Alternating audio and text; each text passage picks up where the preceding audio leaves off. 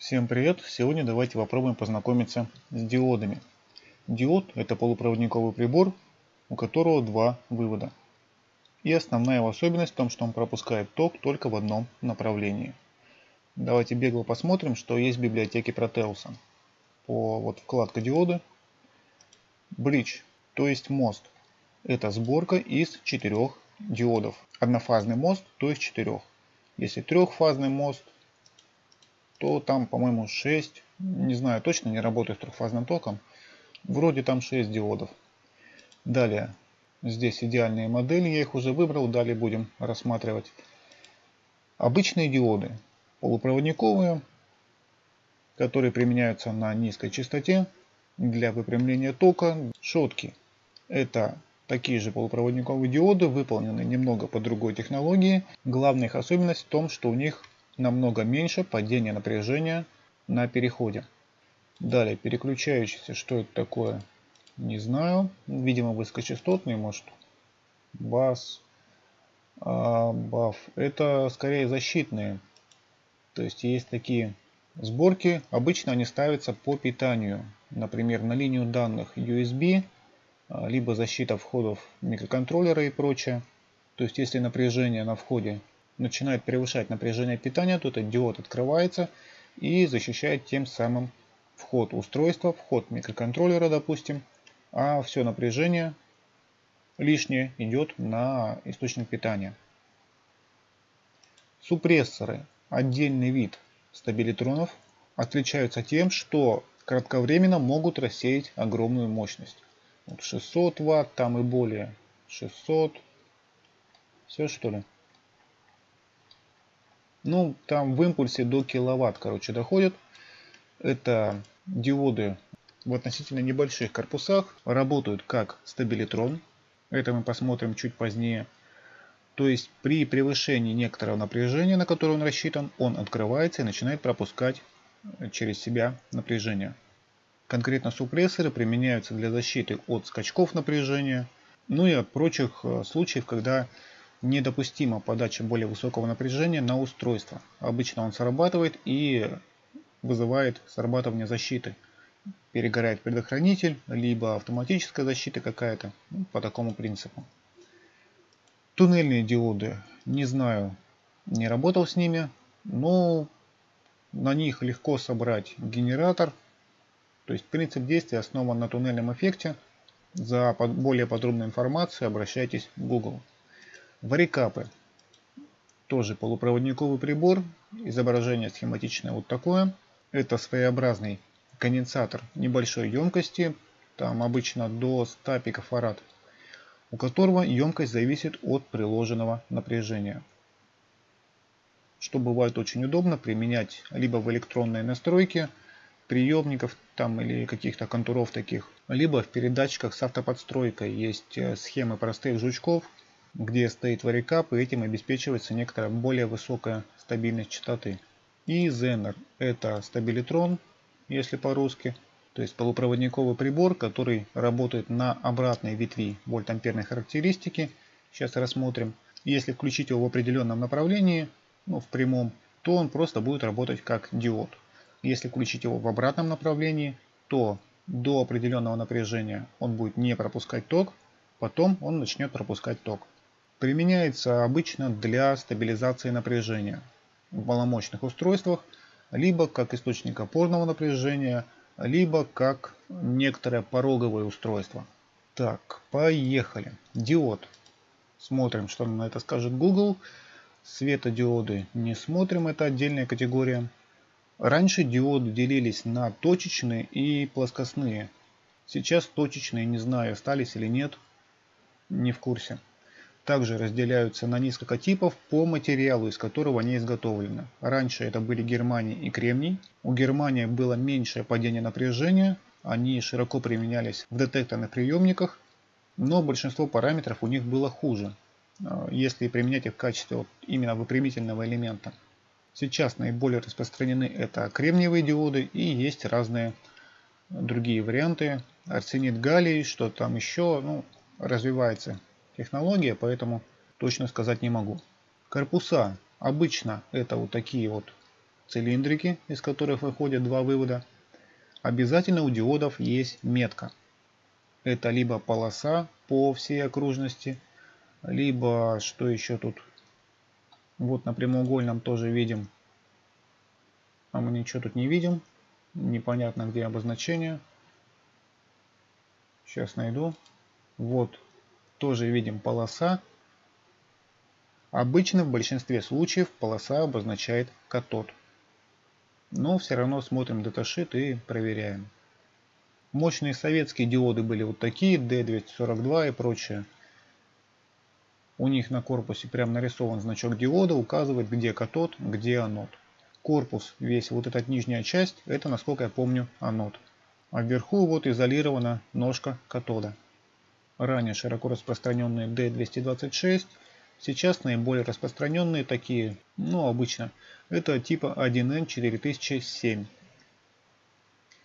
в таком небольшом корпусе. Ну, еще раньше, так, отдадим должное, были вакуумные диоды, то есть это электронная лампа, которая пропускала ток только в одном направлении. Ладно, в общем, корпуса бывают самые разные. Маломощные диоды, высокочастотные, также стабилитроны выпускаются вот в таких небольших стеклянных корпусах. Ну и мощные устройства выпускаются в мощных корпусах. Так, на этом пока все. Давайте разбираться, как же работает диод. Вот это его примерное условно-графическое обозначение. Это вот такой треугольник и черта. Как мне легче запомнить, где какой вывод. Смотрим, вот перевернуть его если, то видим, что вот здесь вот эти палки образуют букву К. Значит этот вывод катод, тот, на который надо подавать минус. Ну и, соответственно, другая часть это анод, на который подается плюс. Давайте подключим источник синусоидального напряжения. Земля и резистор. Простейшая схема, ну, скажем так, выпрямителя. 0, амплитуда пусть будет 20, частота 100 Гц. Окей. Подключаем осциллограф. Канал А на вход, канал Б на выход. Запускаем симуляцию, смотрим. DC, DC, 5 вольт на клеточку и выравниваем по красной линии. Вот таким образом. Желтая линия видим. Это входной сигнал. Чистый синус. И в плюс, и в минус. После диода уже только положительная волна. То есть отрицательное напряжение, которое на него подается, он не пропускает. Давайте, если поменяем направление диода, направление включения, то видим, что теперь только отрицательная волна, положительная не проходит. Это основное свойство диодов, основное их назначение. И давайте еще так, сместим красную вот сюда. По ней выровняем сигналы. Так, и поставим деление поменьше. В смысле на клеточку больше вольт. И видим, что синий сигнал, то есть то, что после диода, немного меньше, чем то, что на входе. Это обусловлено падением напряжения на переходе. В наиболее распространенных обычных полупроводниковых приборах это падение напряжения составляет где-то 0,5-0,8 вольт. Зависит от проходящего тока. А если это диод шотки, то падение меньше от 0,1 до 0,6. Одно из возможных применений таких диодов это питание какого-то устройства. Допустим, у вас есть USB 5 вольт, а вам надо питать какое-то устройство, которое от более низкого напряжения питается. Ну, допустим, 4,2 литий-ионный аккумулятор. Сразу говорю, без знаний туда не лезьте, а то начнете там планшеты подключать, сгорит, а потом меня будете винить в этом. Суть в чем? Подаем 5 вольт на входе, проходит сюда, и на диоде падает где-то 0,5-0,6 вольт. Снижается напряжение, допустим, поставили два диода последовательно, и тем самым снизили выходное напряжение на 1 вольт. Это простейший способ, как можно снизить напряжение. Не ставя там резистор, тогда надо рассчитывать именно его сопротивление. просто ставятся диоды. Основные параметры будем смотреть потом в таблице Compel. Это максимальное обратное напряжение, максимальное напряжение, которое на него можно подавать. Это прямое падение напряжения, которое я говорил, падает на нем. Максимальный прямой ток, который через него проходит. Ну еще там разные емкость, частота, скорость переключения. Это второстепенные параметры. Как бы основных параметров два. Максимальное обратное напряжение и максимальный прямой ток. Давайте покажу еще одно применение, которое я уже показывал э, в уроке по автономным или аварийным источникам питания, не помню.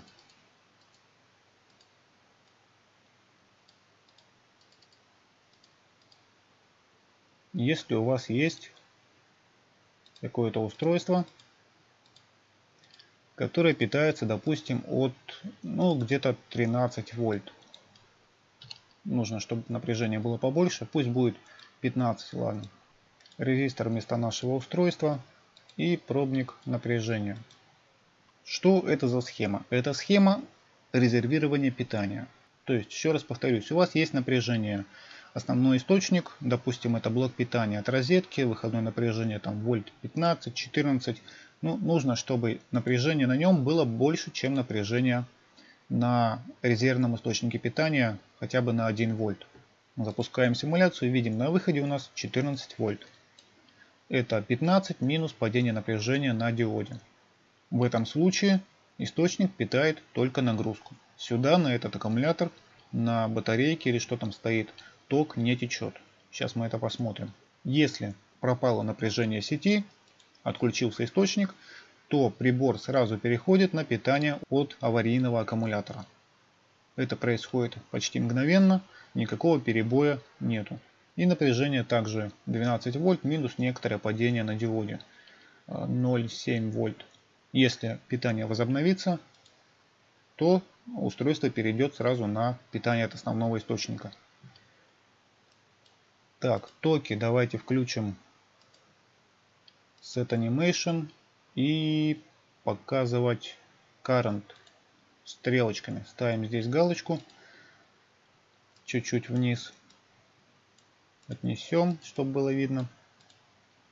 Запускаем симуляцию. Вот видим, стрелки показывают направление тока. Здесь у нас ничего не течет. Если пропадает питание, то весь ток идет от этого аккумулятора сюда.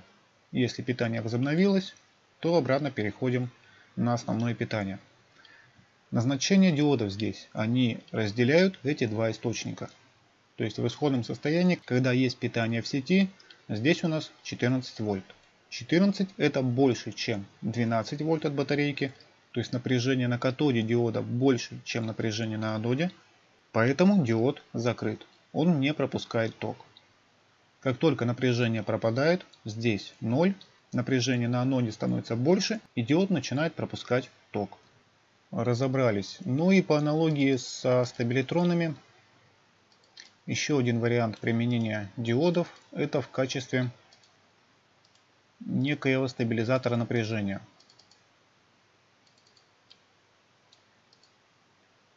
То есть мы включаем их обязательно через резистор, который надо рассчитывать. Подключаем к нагрузке. Пусть здесь будет, ну скажем, 100 Ом. Диоды включены в прямом направлении, то есть через них будет течь ток. Что таким образом мы получим? Запускаю симуляцию и видим, на нагрузку у нас идет полтора вольта. Это падение напряжения на двух диодах. Таким образом можно питать, допустим, настенные часы от э, какого-то источника питания, ну от USB кабеля, грубо говоря. То есть все, что нужно, это правильно рассчитать это сопротивление, чтобы был достаточный ток для нагрузки, но при этом не было лишнего нагрева диодов и лишнего потребления от источника. Если надо 3 вольта, то берем, соединяем 4 диода таким образом. Получаем на выходе около 3 вольт. Далее Возвращаем источник переменного напряжения и ставим диодный мост. Однофазный диодный мост состоит из четырех диодов. включенных вот таким образом. Переменное напряжение подается на точку, где соединяются разные выводы диодов. То есть вот таким образом. Где выводы диодов одинаковые, снимается сигнал на нагрузку. Какой сигнал мы получим на выходе? А, я ж не настроил. 0, 10. Так, частота. Частоту давайте сделаем пониже. Пусть будет 0,2. И сейчас покажу зачем. Смотрим осциллограмму. И видим вот такую вот картинку. То есть не как с одним диодом. Здесь был, э, был сигнал, потом вниз пропуск. А видим, что оба сигнала есть в наличии. То есть и положительную полуволну он выпрямляет, и отрицательную. Почему так происходит? Потому что а, здесь будет плохо видно. Ну давайте соберем из четырех диодов. Тот же самый диодный мост. И будем смотреть на стрелочки. Так. Смотрим направление движения токов. На одной полуволне видим идет через этот диод, на другой полуволне идет через этот диод. То же самое снизу. Сначала через один, потом через другой. То есть, если разобраться, видно, что положительную, допустим, полуволну пропускает вот этот диод в нагрузку плюс, и вот этот диод в нагрузку минус на другой вывод. Меняется полуволна на отрицательную, теперь вот этот диод пропускает минус на землю, на минус нагрузки, а этот диод пропускает плюс на плюс нагрузки. Преимущество диодного моста в том, что он использует оба полупериода переменного напряжения. Поэтому выпрямление переменного тока происходит эффективнее, нужен конденсатор меньшей емкости, меньше помех, меньше пульсаций и прочее. Диодный мост применяется, пожалуй, исключительно в выпрямителях. Другие его назначения это очень специфические и крайне редко применяемые. То есть давайте подадим частота пусть будет скажем 200 Гц. Посмотрим осциллограмму на выходе. Видим вот такой сигнал. Теперь давайте добавим конденсаторы на выход. Чтобы сгладить эти, эти пульсации, один кондер пусть будет 10 микрофарад, а второй 1000. Кнопки поставим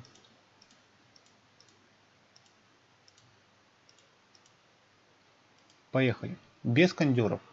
Вот такой сигнал у нас на выходе. Если добавить кондер небольшой емкости, то видим сигнал изменится на вот такой. Будет почти постоянное напряжение, но некоторые пульсации.